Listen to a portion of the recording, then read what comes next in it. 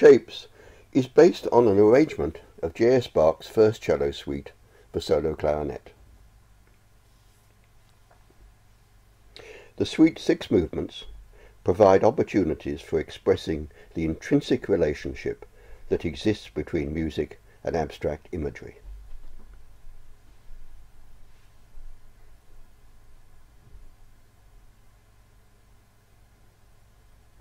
Within the constantly shifting patterns I've created, you'll begin to see, once or twice in each movement, certain images that closely resemble a particular type of abstract art. Now I'm not going to give the game away just yet, but at the end of my performance I'll name the artists I have in mind. They'll all be familiar to you, although possibly the first one will be the most difficult to identify.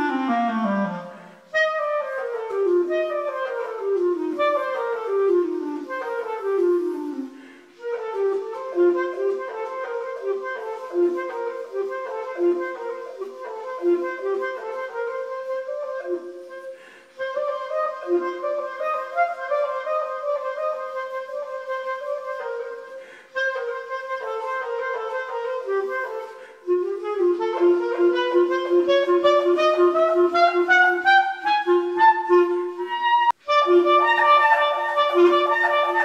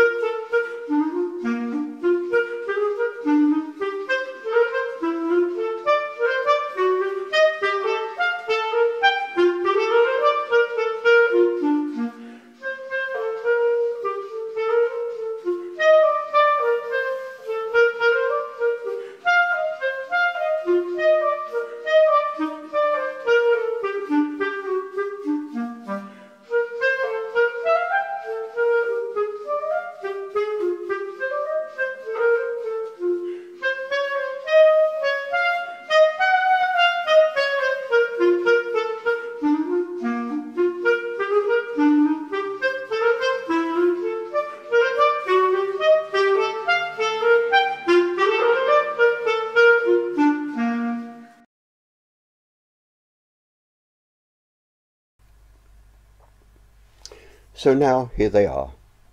The nine artists whose work, to my mind at least, is analogous to various computer images that I've generated in a relatively random manner.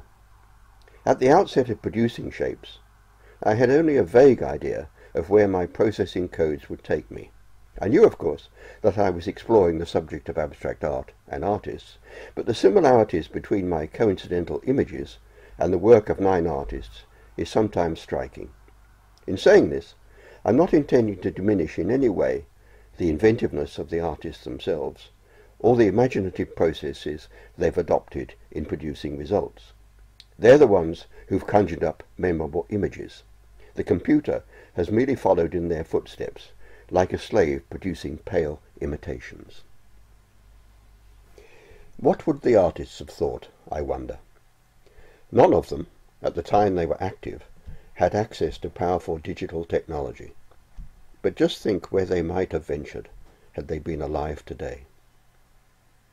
In making shapes, I've become fascinated by a process that has enabled me to forge unexpected links between various art forms.